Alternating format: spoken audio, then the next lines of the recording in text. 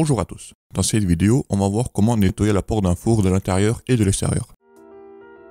Voici un four maltraité avec une porte qui est vraiment dans un état critique.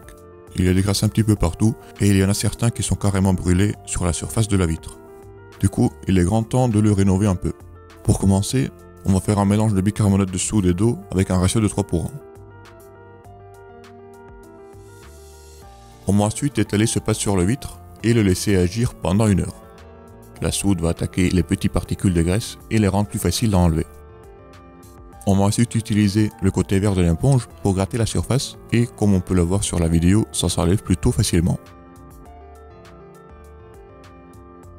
On rajoute un peu de soude et on continue à frotter.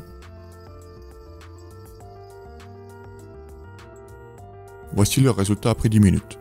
Comme le four était dans un état critique, il y a toujours des particules brûlées qui restent collées sur la vitre. Pour les enlever, on peut utiliser une spatule, et là ça s'enlève vraiment sans effort. Voici la différence entre l'avant et après de cette première étape. J'ai ensuite fait exactement la même chose pour l'autre côté et on obtient un vide qui est plutôt clair. Pour enlever les dernières particules de graisse et aider au nettoyage, on peut pulvériser du vinaigre blanc sur le vitre. Et voici le résultat.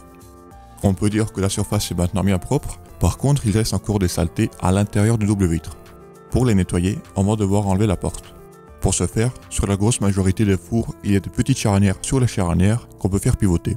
Une fois cela fait, on peut mettre la porte sous un angle et tirer dessus. Une fois la porte détachée du reste, on peut défaire la vis qui maintient les deux hémisphères du porte ensemble pour accéder aux vitres intérieures. Pour nettoyer ces surfaces, on peut utiliser soit la méthode qu'on a vue avant, ou alors on peut aussi mélanger de la soude et du vinaigre pour obtenir un mélange nettoyant.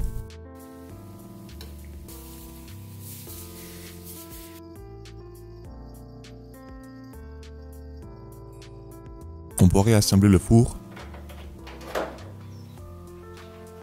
et admirer le résultat.